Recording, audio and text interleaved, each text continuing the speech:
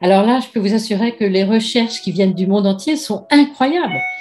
Et ces recherches nous montrent quoi? Eh bien que quand les deux parents sont empathiques, c'est une très très longue étude de Rianne Koch, une chercheuse, une jeune chercheuse hollandaise, qui nous montre que c'est une étude de six semaines d'âge de l'enfant à 8 ans, quand les deux parents sont empathiques, tout le cerveau, toute la substance grise du cerveau se développe et on a un épaississement du cortex euh, préfrontal qui est la partie la plus importante que nous avons dans notre cerveau. Donc nous savons maintenant que l'empathie modifie structurellement le cerveau. L'empathie peut se travailler et peut se développer.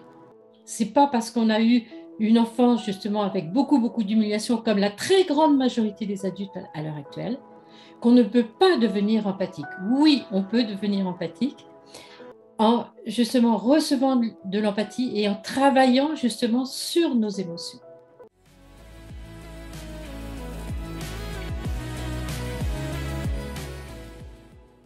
Certains ne vous connaissent peut-être pas encore. Euh, vous êtes pédiatre, conférencière, autrice. Euh, vous êtes spécialisé dans les euh, neurosciences affectives et sociales. Euh, c'est ce qu'on peut, voilà, du coup, voir entre, parmi vos beaucoup de vidéos aussi, d'interviews, de, conférences passionnantes que j'invite nos auditeurs et, nos internautes à aller, à aller, visionner. mais au-delà de ce qu'on peut, ce qu'on peut voir comme ça en, tapant votre nom dans, un moteur de recherche, est-ce que vous pouvez vous, présenter? Qui, qui, vous êtes, qu'est-ce qui vous anime, qu'est-ce qui, voilà, pourquoi vous faites tout ça aujourd'hui? Alors, euh, moi, j'ai choisi d'être pédiatre hein, pour m'occuper des enfants. Et en étant pédiatre, euh, j'ai été euh, très, très bouleversée et choquée quand j'étais toute jeune de voir dans les services de pédiatrie tous ces enfants maltraités. Hmm. Et je n'imaginais absolument pas ça. Donc, c'est une question extrêmement importante qui taraude tous les pédiatres. Hein. donc, ça m'a toujours, toujours préoccupée. Et euh, le jour où j'ai rencontré euh, euh, en maternité des femmes qui m'ont dit qu'elles avaient pu être vraiment en relation affective avec leur bébé sans aucun problème, je me suis dit, il faut que je creuse cette question-là. Et, et, donc, c'est comme ça que je me suis formée en autonomie.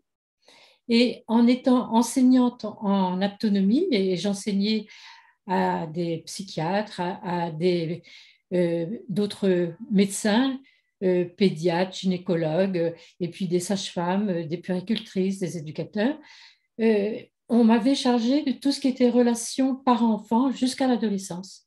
Ça, c'était au XXe siècle. Et donc, l'autonomie, c'est vraiment l'affectivité et, le contact affectif. Et je voulais être au top de, des connaissances.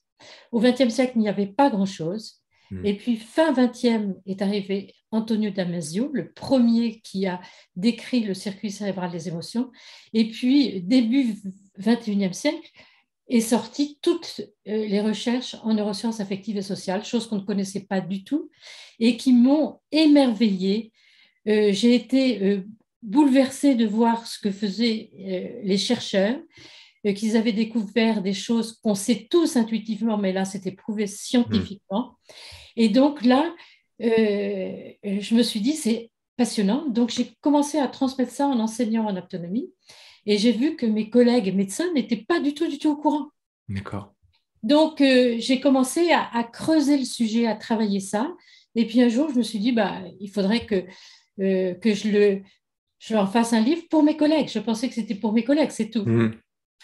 Euh, j'ai été très surprise de voir que les éditeurs, euh, ça ne les intéressait pas du tout. Ils m'ont dit euh, c'est invendable ce que vous faites, ça n'intéressera personne. Bon, ah voilà. Et puis, donc, je me suis dit bah, tant pis, mon manuscrit était dans un tiroir pendant très, très, très longtemps. Et puis, un jour, une de mes patientes, quand on est à l'hôpital, quand c'est le premier rendez-vous, on ne connaît pas ses patients. Je commence ma consultation, elle me dit, mais vous savez, je suis éditrice, ce que vous me dites, ça m'intéresse beaucoup, vous devriez écrire. Et puis j'ai dit, j'ai écrit. Et elle était éditrice chez Robert Laffont. Donc je lui ai envoyé mon manuscrit trois jours après, elle m'a dit, je vous publie. Donc vous voyez que c'est euh, vraiment la rencontre avec cette jeune femme qui était enceinte et qui m'a permis euh, euh, de publier ce livre. Et donc, quand ce livre est sorti, moi, je pensais, comme m'avaient dit les éditeurs, que ça n'intéresserait personne et que c'était invendable. Donc, j'ai été très, très, très surprise de voir que, en fait, cette question-là intéressait beaucoup, beaucoup, beaucoup de monde. Et donc, euh, les gens sont beaucoup, beaucoup plus en avance que ce, qu'on ce que beaucoup, beaucoup de, de, nos élites pensent en fait. Et les gens, beaucoup, beaucoup de gens, je ne dis pas tous, mais beaucoup, beaucoup de gens sont prêts à recevoir ce message-là. Hmm. D'accord. Merci pour cette, euh, cette présentation. Super, euh, super histoire. en effet, l'importance des rencontres, on, le dit toujours, mais c'est une belle, belle illustration. On avait prévu ensemble de, de parler plus précisément de de l'empathie dans, euh, dans la relation euh, parent, parent-enfant. Et, ma première question, elle était un peu pour poser les, poser les bases. C'est quoi une éducation empathique? De, quoi on parle quand on parle de ça? Alors d'abord, c'est quoi l'empathie? Ce qu'il ce qu'il faut savoir, c'est que tous les êtres humains naissent avec de l'ocytocine. Et l'ocytocine, c'est la molécule de l'empathie, donc de l'affection pour pouvoir aimer, il faut être empathique. Et donc, à la naissance, nous avons tous cette molécule. Par contre, après, qu'est-ce qui se passe? La première année de vie, c'est l'année où les enfants subissent le plus d'humiliation verbale et physique. Et un certain nombre d'enfants meurent, hein, beaucoup ne le savent pas, la première année de vie, parce que les parents, je ne leur en veux pas, hein, ils ne sont pas du tout accompagnés et que beaucoup de parents disjonctent face aux pleurs de leur enfant. Donc, qu'est-ce que fait ces humiliations verbales et physiques que subissent beaucoup, beaucoup d'enfants dans le monde entier à l'heure actuelle, dans tous les milieux, dans toutes les cultures, dans toutes les religions? Eh bien, c'est un stress pour le bébé et ce stress provoque la sécrétion de cortisol et le cortisol va empêcher le développement de cette ocytocine.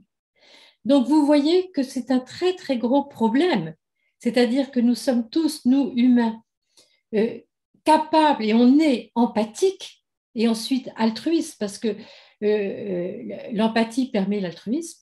On a tous cette potentialité en nous, mais elle est réfrénée à cause de toutes les humiliations verbales et physiques que subissent les enfants dès la première année de vie et toute la petite enfance.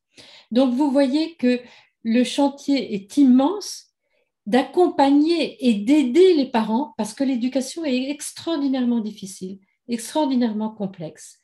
Donc, euh, l'empathie, ensuite, peut se développer. Et elle peut se développer si on reçoit de l'empathie, uniquement si on reçoit de l'empathie. On peut recevoir de l'empathie de plusieurs façons par nous-mêmes, en étant auto-empathique, et, je vais vous définir ce que c'est que l'empathie, et par les autres. Mais c'est beaucoup plus efficace si on reçoit de l'empathie par les autres. Alors l'empathie, c'est quoi? Eh bien, c'est le travail sur les émotions. Et quand je vous dis ça, là, en 2021, ça vous paraît normal, évident, mais je peux vous assurer que la très grande majorité des adultes n'ont jamais travaillé sur leurs émotions. Au XXe siècle, les émotions étaient considérées comme quelque chose de gênant et dont il ne fallait pas parler. Et surtout les hommes. Et moi, j'ai beaucoup, beaucoup de, compassion pour mes frères les hommes, parce qu'à eux, on leur a dit dès tout petit, un homme, ça doit être fort, ça ne doit pas montrer ses faiblesses, ça ne doit pas pleurer. Euh, donc, euh, les hommes ont encore beaucoup plus de difficultés à, développer justement leur empathie et le travail sur les émotions. Donc, euh, moi, je demande aux femmes euh, vraiment d'aider leurs compagnons, leurs maris, leurs collègues hommes pour justement arriver à une société empathique. Mais les femmes aussi ont beaucoup, beaucoup de travail à faire. Et donc, l'empathie, c'est le travail sur les émotions. L'empathie, c'est sentir ses propres émotions et les émotions des autres. Ensuite, comprendre pourquoi nous, on a telles émotions pourquoi les autres ont telles émotions. Et ensuite, il y a la sollicitude empathique qui nous permet de prendre soin de nos émotions et de celles des autres. Donc, vous voyez, c'est tout un travail sur les émotions. Donc, vous voyez que il faudrait faire ce travail sur les émotions. Et c'est un vrai travail, c'est-à-dire que ce que nous montrent toutes les études scientifiques, c'est que l'empathie peut se travailler et peut se développer. C'est pas parce qu'on a eu une enfance justement avec beaucoup beaucoup d'humiliation comme la très grande majorité des adultes à l'heure actuelle qu'on ne peut pas devenir empathique. Oui, on peut devenir empathique en justement recevant de l'empathie et en travaillant justement sur nos émotions. Et en développant ce qu'on appelle nos compétences sociales et émotionnelles. Et c'est quoi nos compétences sociales et émotionnelles? Eh bien, c'est d'abord euh, être en connexion avec nos propres émotions. Et il n'y a pas 4-5 émotions. Notre vie affective est très subtile, très riche, très nuancée. Hmm. Et il faut trouver le mot juste. Et dans mes formations, je me rends compte que ben, la plupart des adultes, c'est normal, ils ne savent pas mettre le mot juste. Ensuite, savoir les exprimer sans aucune culpabilité. Hein. comprendre pourquoi on a telles émotions. Et savoir faire face à nos émotions pour pas qu'elles nous envahissent, nous, quand elles sont désagréables, et pour pas qu'elles soient délétères pour les autres aussi. Et une fois qu'on a fait ce travail-là, mais c'est une fois qu'on a fait ce travail-là, et ce travail-là, il est long. Hein. C'est pas avec un coup de baguette magique qu'on y arrive. Hein. C'est un travail presque quotidien. Et à mon avis, pour être vraiment euh, relié à ces émotions, il faut au moins deux, trois ans euh, d'habitude hein, pour faire face à nos émotions. Et ensuite, une fois qu'on a fait ce travail-là, eh bien, on peut développer nos compétences sociales, c'est-à-dire on sait écouter l'autre, le comprendre, puisqu'on sait qu'il est traversé lui-même par les mêmes émotions. Hein, et nos émotions seront liées à nos besoins, hein, ça c'est très très important. Et, et, donc, développer ces compétences sociales et émotionnelles, c'est extrêmement, extrêmement important. Donc là, j'ai beaucoup, beaucoup parlé. oui, mais c'est passionnant. merci, merci beaucoup. Euh, oui, donc on a vraiment cette, cette logique de, euh, pour que, si je me mets en tant que, parent, si mon enfant euh, pour que mon enfant soit, soit, bien, soit épanoui, euh, soit empathique, il faut que moi-même, euh, j'ai cette capacité euh, d'empathie pour lui, pour, lui, pour lui apporter. Et pour ça, il faut que, encore avant, je sois capable de comprendre un peu mes émotions, capable de les verbaliser, qu'il y a une logique de, de, compréhension, mais aussi de vocabulaire, comme, comme, comme vous disiez. ce, ce travail-là, comment, comment on le fait quand on n'a pas, enfant, nous-mêmes été éduquer avec, euh, avec potentiellement ces approches-là Oui. Alors, donc, vous avez bien compris que c'est aux adultes d'abord de se former pour développer leurs propres compétences sociales et émotionnelles. Alors, à l'heure actuelle, moi, je suis euh, très, très heureuse et très confiante parce qu'en France, il se passe beaucoup, beaucoup de choses. Mmh. il y a de plus en plus de formations pour développer ces compétences sociales et émotionnelles. Il y a la CNV, je sais que vous connaissez la CNV. La CNV vient de Carl Rogers, un psychologue américain du XXe siècle, qui n'était pas bien connu en France. Et son élève et collaborateur Marshall Rosenberg a mis au point une façon d'être pour justement développer son empathie et avoir une qualité de relation avec les autres. Donc, euh, pourquoi moi je prône la communication non violente hein, Parce qu'il y a d'autres formations aussi parce que moi, je l'ai expérimenté maintenant il y a très longtemps, et parce que, euh, j'ai vu que c'était extraordinairement puissant, et parce que aussi les formateurs certifiés sont des gens qui ont fait des années et des années de formation. C'est-à-dire que là, ce qui me fait très très peur en France, c'est qu'à l'heure actuelle, vous avez beaucoup de gens euh, qui se disent coach parentaux et tout, et quand on voit leur formation, moi, ça me fait très très peur il y a des formations, c'est en trois jours qu'on sait euh, euh, accompagner les parents. Alors que c'est quelque chose de très subtil, très compliqué, très difficile de savoir accompagner les parents. Donc c'est pour ça que je prône la CNV. Il y a aussi maintenant beaucoup, beaucoup d'associations euh, qui forment les adultes pour développer leurs compétences sociales et émotionnelles. Vous avez Scolavi, c'est une enseignante qui a fonder une association qui permet de développer les compétences sociales et émotionnelles pour les enseignants, parce que les enseignants, c'est extrêmement important.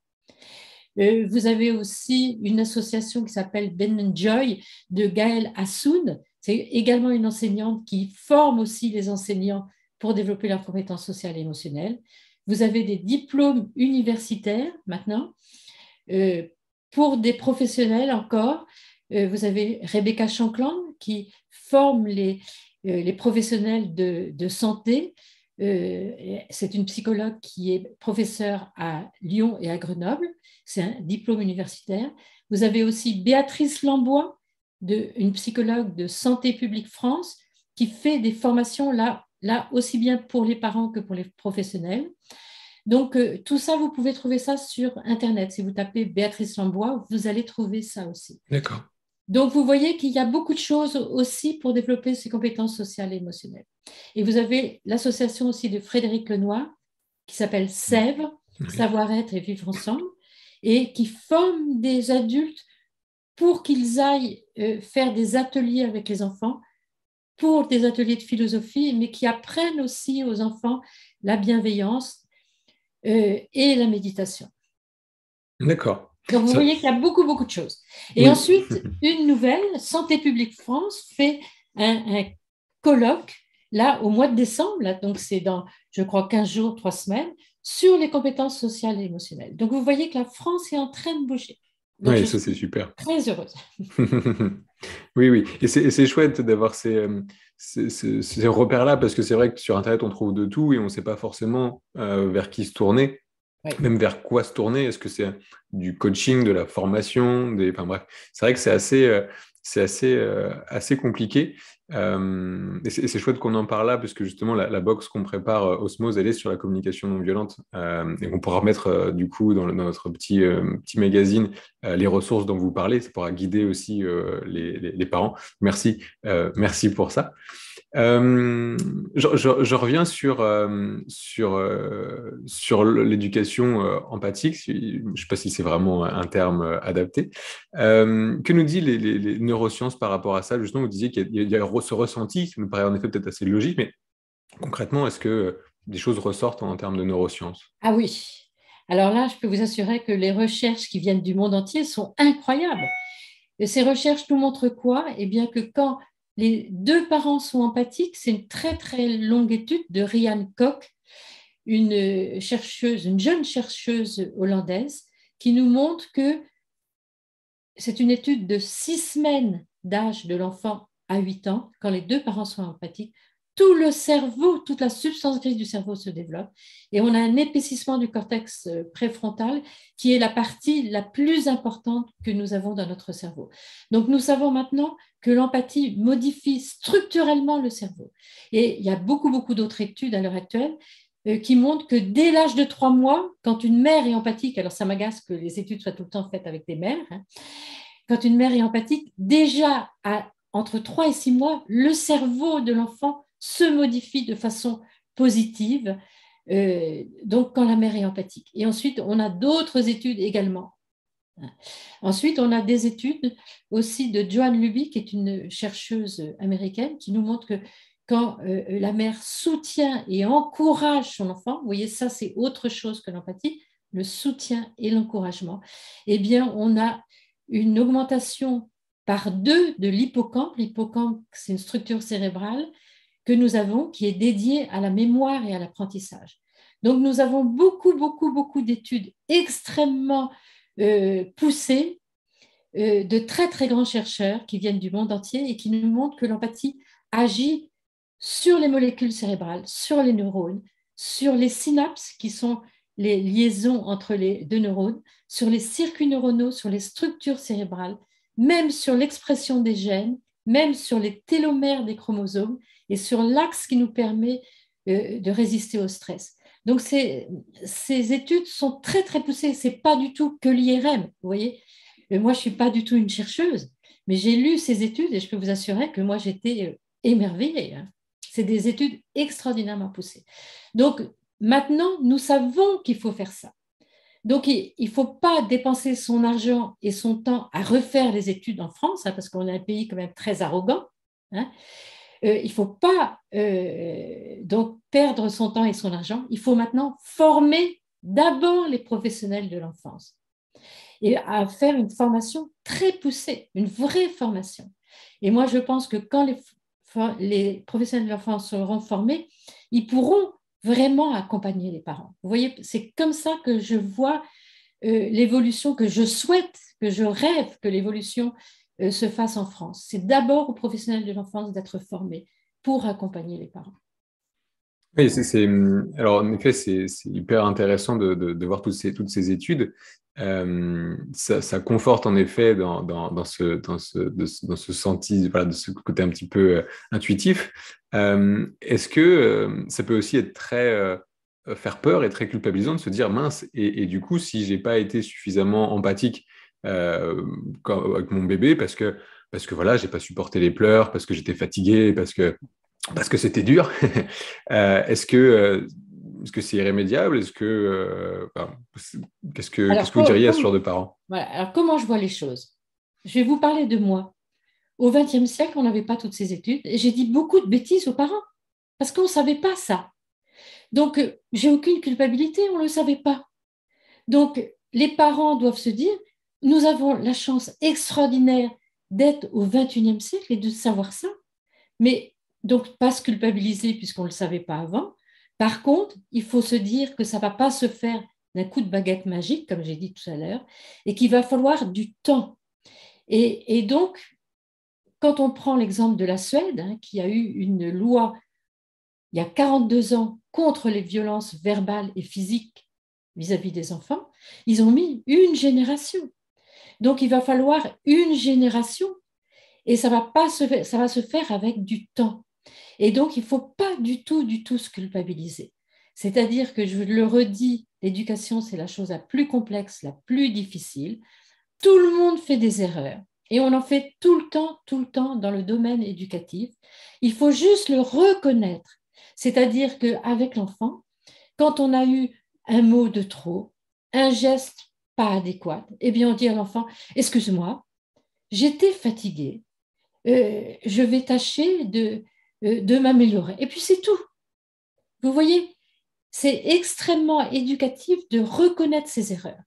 Ça permet à l'enfant de nous imiter et de voir que lui, qui est encore beaucoup, beaucoup plus euh, fragile que nous, il va faire plein, plein, plein d'erreurs aussi et qu'il va pas falloir le stigmatiser pour ça. Et il va nous imiter. Beaucoup, beaucoup euh, de parents me disent à, partir de, 6-7 ans, oui, mon enfant, il me ment, euh, il s'effondre dès qu'il fait une erreur, dès qu'il a une mauvaise note. Eh bien, si nous, adultes, on se reconnaît en tant qu'humains, avec nos capacités, mais aussi nos faiblesses et nos erreurs, eh bien, nos, enfants ne nous mentiront pas, ils nous parleront de leurs difficultés, euh, aussi bien relationnelles que intellectuelles, et ils verront que oui, ils peuvent progresser et que quand on a des difficultés, eh bien, il faut le reconnaître et demander de l'aide. Oui, c'est, ça rejoint ce que vous disiez euh, au début. Euh, en tant que parent, il faut du coup aussi être capable de comprendre nos émotions et comprendre pourquoi on a réagi comme ça, et d'être capable de le verbaliser euh, et, de ne pas avoir ce côté peut-être fierté ou, je ne sais pas trop, de se dire non, je ne vais pas reconnaître à mon enfant que je suis stressé ou que j'ai peur de de mon rendez-vous de ce matin et que du coup ce matin je suis, je suis très agréable. Euh, mais au contraire, il faut réussir à le, voilà, à, le dire et à l'exprimer. Oui, Par contre, il ne faut pas culpabiliser l'enfant. C'est-à-dire que quand l'enfant a des comportements qui ne nous conviennent pas, qui ne nous plaisent pas, euh, souvent on est énervé, hein, eh bien, il ne faut pas dire à l'enfant tu m'énerves parce que ça, ça lui fait perdre confiance en lui. Ça le dévalorise. Il faut dire là, je suis énervée, j'ai atteint mes propres limites. Ça, c'est très, très important. Il va falloir que je me calme. Et dans ce cas-là, l'enfant comprend très bien ça. Et lui, après, il va être capable de dire la même chose quand lui, il va être énervé. Et donc, il faut sentir les signes d'énervement en soi. C'est-à-dire que quand on commence à avoir euh, euh, un peu chaud, la voix qui tremble, le, le cœur qui s'accélère, qu'on sent qu'on va disjoncter, eh bien, c'est à ce moment-là, donc il faut être attentif à ses émotions et à ses sensations. Et à ce moment-là, de dire, il faut que je fasse une pause. Les choses aussi que nous ont appris ces chercheurs, et ça c'est extraordinairement important, c'est que le tout petit ne sait absolument pas faire face à ses émotions parce que son cerveau qui permet de réguler ses émotions ne sont pas du tout matures. Donc le tout petit, quand il se roule par terre, quand il tape, quand il mord, quand il hurle, quand il déchire ses jouets, eh bien, il ne le fait pas exprès, il ne le fait pas pour embêter ses parents, c'est parce qu'il ne sait pas faire face à ses émotions. Jusqu'à présent, qu'est-ce que faisaient les parents hein, ou les adultes? Ils punissaient leur, enfant hein, et ils criaient sur leur enfant. Eh bien maintenant, ce que nous disent les chercheurs, c'est totalement contre-intuitif. Il faut sentir les émotions de l'enfant pour et essayer de comprendre pourquoi il a telles émotions. Et ensuite, au lieu de le punir, il faut l'apaiser. Donc vous voyez que c'est tout un chemin qui est contraire à tout ce que faisaient les adultes jusqu'à présent. Et ensuite, l'aider à exprimer ses émotions. Donc vous voyez ça, ça, ça ne va pas se faire du jour au lendemain, hein, puisque l'habitude a été prise. Quand l'enfant, par exemple, tape ou mord, ben, euh, la plupart des, parents, ils donnaient une gifle à l'enfant hein, et puis euh, ils le punissaient. Donc il va falloir comprendre que l'enfant ne le fait pas exprès. Il n'y a pas de caprice chez l'enfant. Alors ça ne veut pas dire qu'on va céder. Hein. L'éducation empathique n'est pas du tout du laxisme. Ceux qui disent ça, c'est qu'ils ne connaissent rien du tout.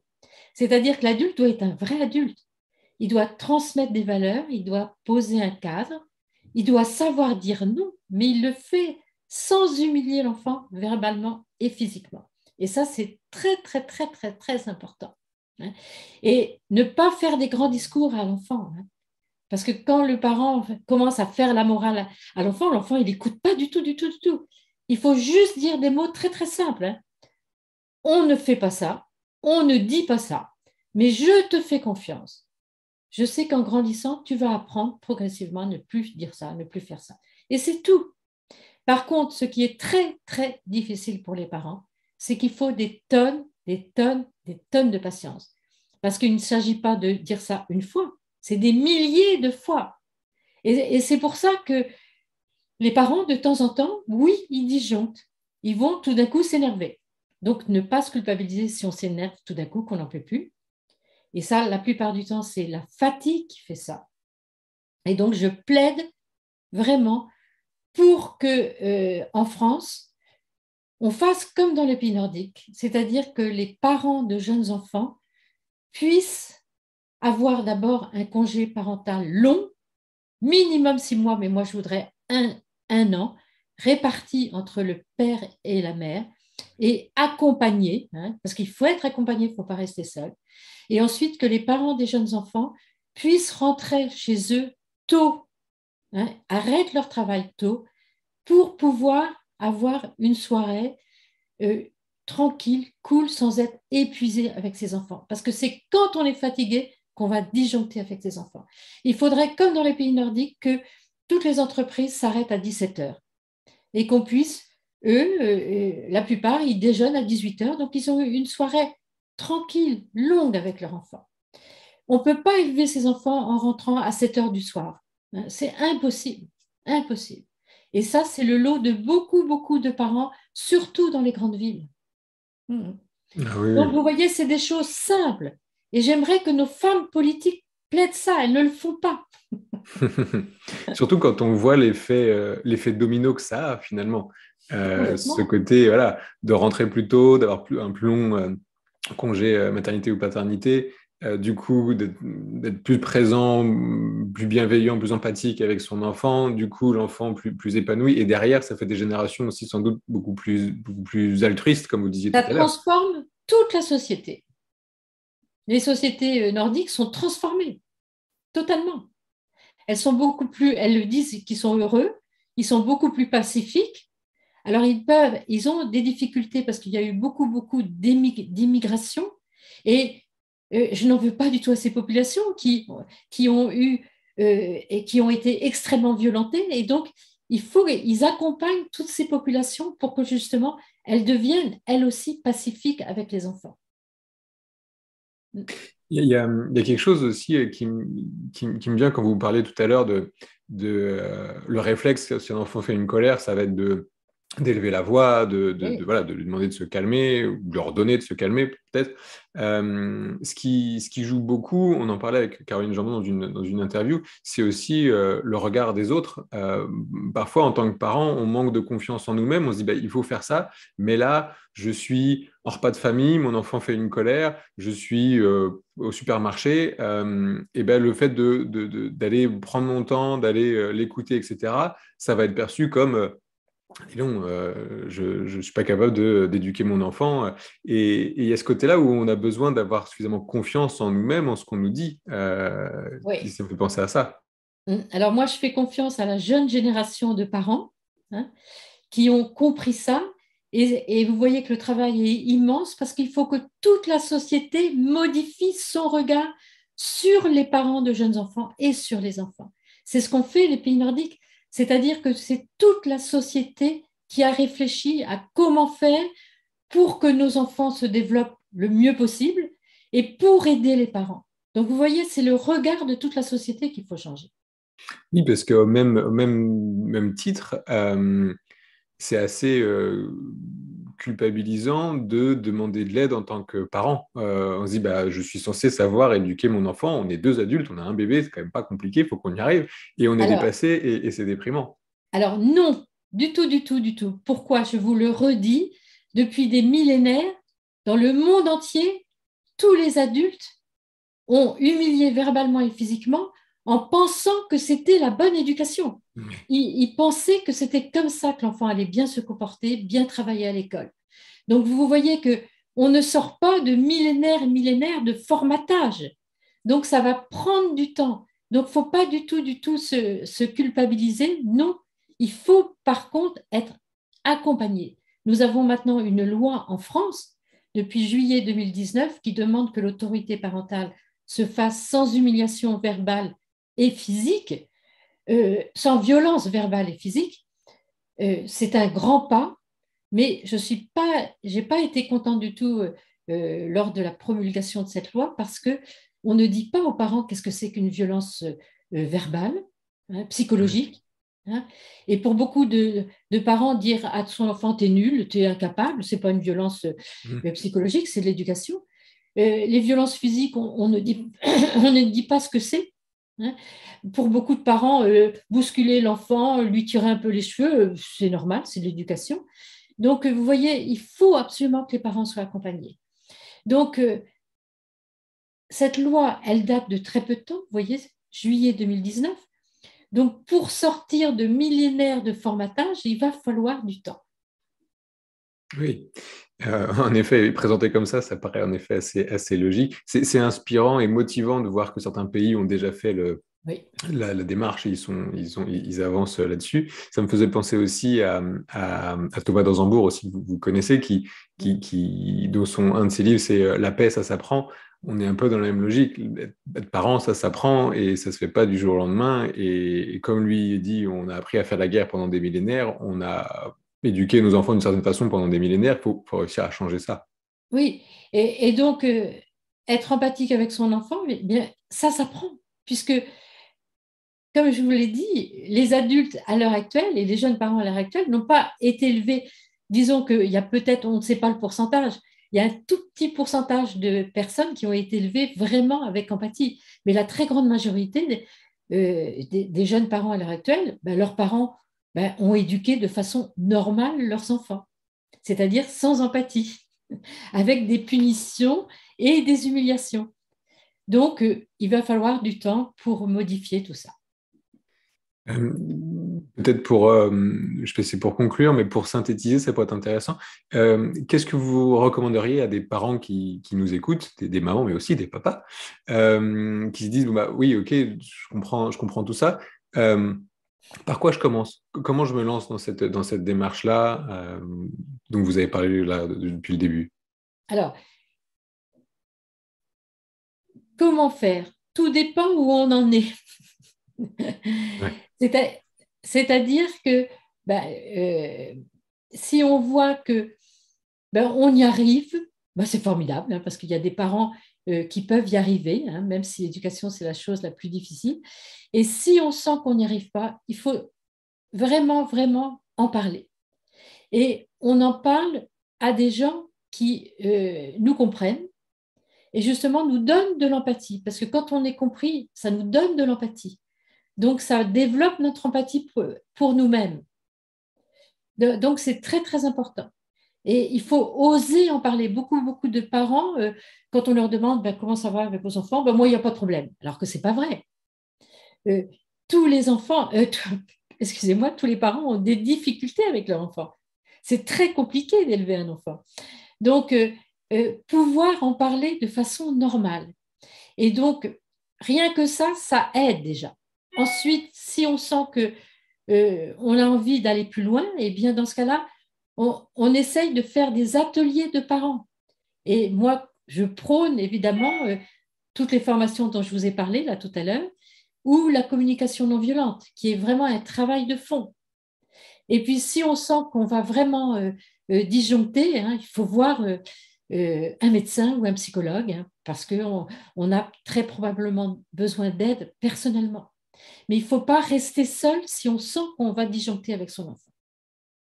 Oui, et puis peut-être aussi trouver le bon professionnel. Parce que, ah comme vous dites, tout le monde n'est pas forcément formé à tout ça. Non, non, non, non, non. Et puis, trouver son équilibre, euh, c'est très important trouver un équilibre dans sa vie personnelle, c'est-à-dire euh, trouver des choses qui nous font du bien, euh, si possible, tous les jours. Et, c'est à chacun de trouver ce qui lui fait du bien. ça peut être chanter, ça peut être se promener dans la nature, plein plein de choses, mais c'est à chacun de trouver son propre équilibre. Et puis beaucoup, beaucoup parler avec euh, son conjoint. Hein. quand on n'est pas une femme seule qui élève son enfant ou un homme seul qui élève son enfant et qu'on a un conjoint, c'est la majorité quand même des familles, il faut beaucoup, beaucoup parler avec son conjoint. Avoir de l'empathie pour son conjoint, comprendre parce que quand on est deux, on a tous les deux eu des éducations différentes. Donc une façon de voir l'enfant de façon différente. Donc il faut beaucoup, beaucoup échanger et se donner de l'empathie avoir une écoute empathique. Euh, ça, me fait penser, euh, on a souvent ces retours-là où, euh, encore malheureusement, les mamans ont tendance à, se documenter, à, regarder des conférences, à lire des, lire des ouvrages et, comprendre un petit peu tout, ça. Et dans pas mal de, cas, les papas sont beaucoup plus réticents à tout ça. en partie aussi parce que vous l'expliquez au début, peut-être, voilà, on ne pourra revenir dessus. Comment euh, et, du coup il y a des mamans qui disent bah, moi mon problème c'est euh, c'est euh, mon mari mon conjoint qui lui n'est pas trop dans, dans, dans, tout ça. Euh, il demande comment comment on peut comment on peut faire. Qu'est-ce que qu'est-ce que vous diriez à ces à ces, à ces mamans qui se demandent comment impliquer leur papa leur, leur, conjoint pardon dans dans cette démarche?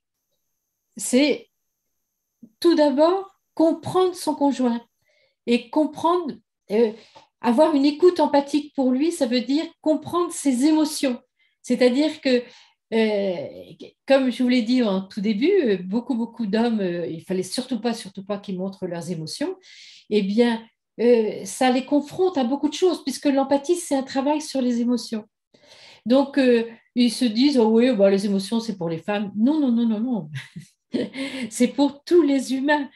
Donc, c'est d'abord être si la femme commence à critiquer euh, son homme, hein, eh bien, ça va faire l'effet inverse.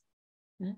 Si elle lui donne des injonctions, il faut que tu lises ce livre-là, il faut que tu ailles écouter telle conférence et tout, ça va faire l'inverse. Hein. On n'aime pas du tout avoir des injonctions et que quelqu'un nous force. Il faut qu'on se sente libre. Par contre, de quoi ont besoin tous les humains? D'être écoutés et compris. Donc la première chose, c'est que la femme écoute son homme, qu'est-ce qu'il a à dire, et le comprenne et l'aide à, parler de ses émotions face à cette question-là. Pour toi, quand tu es avec euh, euh, notre enfant, qu'est-ce que tu ressens comme émotion? Et la plupart du temps, je peux vous assurer, hein, moi qui ai vu des milliers et des milliers de parents, c'est de l'inquiétude et un sentiment d'impuissance. C'est-à-dire qu'ils sont inquiets parce qu'ils euh, voient leur enfant faire telle et telle chose et ils ne savent pas comment faire, donc ils se sentent impuissants et ils auraient besoin justement d'être compris dans ces sentiments-là. Oui, encore une fois, ça commence euh, par soi-même euh, et essayer de comprendre encore l'autre euh, dans, ses émotions et ouvrir la discussion sur ces bases-là. Tout à fait, tout à fait. Et ça change tout. Oui, oui, oui. oui.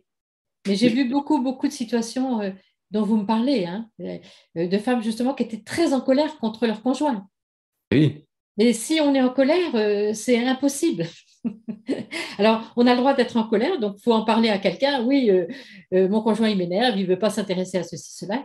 Mais en tête à tête, il faut l'écouter et le comprendre. Et j'avais une dernière question, euh, plutôt une, remarque, mais j'aimerais avoir votre, votre retour dessus. on a certaines personnes qui euh, on a vu que c'était important de, bah, prendre soin de, soi, d'être bien pour pouvoir justement euh, être posé, être, euh, être, disponible pour, pour nos enfants, mais aussi pour nos conjoints et, notre entourage. mais certaines personnes culpabilisent un petit peu de dire, bah, c'est un peu égoïste de, s'occuper d'abord de soi. voilà, je suis, je suis maman, je suis épouse. voilà, j'ai quand même des, des rôles aussi, principalement à faire autour des autres. Euh, vous avez déjà, j'en doute, rencontré ce genre de, personnes. Qu'est-ce que, qu'est-ce que vous leur dites? Eh bien, si on ne prend pas soin de soi et justement de nos émotions, parce que même la fatigue, c'est une émotion, hein, c'est une sensation et une émotion, eh bien, on va disjoncter avec son conjoint et avec son enfant. Donc, c'est essentiel soi-même de prendre soin de ce qui se passe en nous. C'est fondamental, fondamental, fondamental. Si on ne prend pas soin de nous, on ne peut pas prendre soin de l'autre si on n'est pas empathique avec soi-même, si on ne se comprend pas, si on ne comprend pas nos besoins, parce que chaque émotion est reliée à un besoin. Par exemple, si je ressens de la fatigue ou de l'énervement, il faut que je comprenne de quoi j'aurais besoin. Et généralement, si euh, c'est très simple, hein, euh, euh, si on est fatigué, ben, ça veut dire qu'on aurait besoin d'un peu de repos. si on est énervé, il va falloir comprendre quel est le besoin derrière si un, homme ne veut pas entendre parler du tout et, s'énerve quand sa femme lui parle d'éducation, il va falloir comprendre de quoi il aurait besoin. voyez? Donc ça, c'est extrêmement, extrêmement important. Très bien. Merci beaucoup. Euh, on va... Avec grand plaisir. C'était passionnant. Euh, merci pour tous ces, tous ces échanges. Euh, je, on, va, on va conclure ici. Euh, peut-être est-ce que vous avez un, un, mot pour finir? Est-ce que vous avez une actualité que vous voulez partager? Des choses que. Alors, vous parlez par exemple d'un colloque, je crois. est-ce qu'il y a d'autres choses que vous voulez partager? Peut-être votre actualité, actualité à vous? Moi, je ne, je ne, mets pas mon actualité sur les réseaux sociaux. Ce que je peux te dire, c'est que je suis sollicitée en permanence, en permanence, en permanence. Euh, je refuse la très grande majorité des sollicitations parce que je n'ai pas le temps, donc je choisis celles qui me paraissent les plus utiles. Mais pour moi, euh, le fait que je sois très sollicitée, ça me donne confiance parce que je me dis que oui, euh, les, les, gens ont envie d'entendre ce, euh, ces messages-là et, ont envie donc justement que nos sociétés ben, soient plus humaines et plus pacifiques. Donc c'est très très important. Et ce que je voudrais dire aussi, parce que c'est quelque chose souvent qui m'agace, hein, donc euh, j'ai envie de le partager, quand je parle des pays nordiques qui ont réussi, eux, à avoir ces sociétés-là, on me dit, mais ouais, mais nous, on est la France, c'est pas du tout le même contexte, mais je vois pas du tout pourquoi on ne réussirait pas à être aussi humain qu'eux. C'est juste une question d'humanité. Donc, euh, moi, j'ai confiance parce que notre pays est en route et je pense que ben, vous en êtes le témoin et qu'il y a des hommes qui sont en route aussi. Donc, euh, j'ai confiance. Super. Merci beaucoup. Et donc, c'est un immense progrès hein, pour notre. Ceux qui arrivent là maintenant, hein, cette conscience de comment il faudrait élever les enfants, c'est un immense progrès pour notre humanité. Donc notre humanité est en train de progresser. Donc ça, il faut aussi en avoir confiance, parce qu'il y a beaucoup, beaucoup de discours très pessimistes, alors que moi, je pense qu'on est en train de, euh, de progresser. Donc il faut être fier de nous-mêmes. Merci pour cette note euh, d'optimisme pour, euh, pour finir. C'est vrai que c'est très encourageant et, c'est vrai qu'on voit quand même de plus en plus euh, d'initiatives et de, et de et de, de, d'appropriation de tout ce sujet-là. C'est vrai que c'est, super positif. Oui. Et puis je voudrais aussi, pour terminer, euh, dire que j'ai une immense, immense gratitude vis-à-vis de tous ces chercheurs dans le monde entier qui travaillent sur ce sujet-là et que c'est grâce à eux que cela avance. Hein. C'est grâce à eux. Donc, il faut être conscient de ça. Donc, on euh, n'est pas seul hein, avec ces questions-là. C'est le monde entier qui est en train de se dire comment on fait pour que les, nos enfants deviennent des personnes qui euh, vont bien. Merci Catherine, ce sera le mot de la fin. Eh Merci beaucoup. Avec grand plaisir.